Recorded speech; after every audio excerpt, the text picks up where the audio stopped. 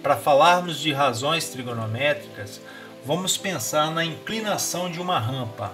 Então vamos estudar inclinação de uma rampa para a gente entender razões trigonométricas. Vamos supor que aqui esteja a rampa. Então uma pessoa vem nesse piso aqui, vamos simbolizar esse piso com esses tracinhos. Uma pessoa vem para aqui, quando ela chega exatamente no ponto A, ela começa a subir a rampa. E ela sobe a rampa até o ponto B, quando ela vai nesse segundo piso.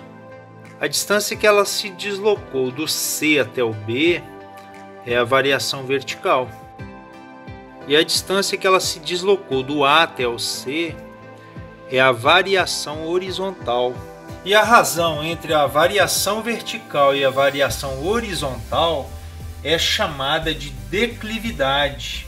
Então podemos escrever que declividade é igual a razão, que é uma divisão entre a variação vertical e a variação horizontal.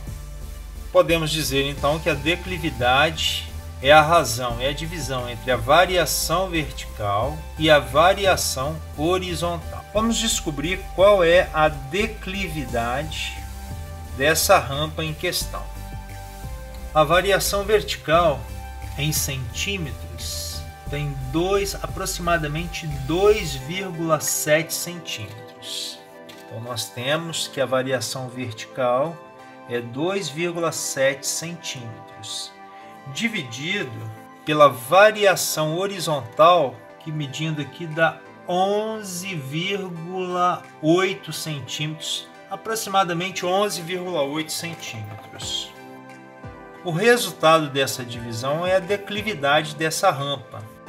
Dividindo então 2,7 por 11,8, chega-se nesse número aqui, que é um valor aproximado de 0,8 quando você olha a quarta casa, é um 8. Então 88 vai para 90. A gente vai aproximar aqui, vai ficar 0,229. Aproximadamente 229 milésimos.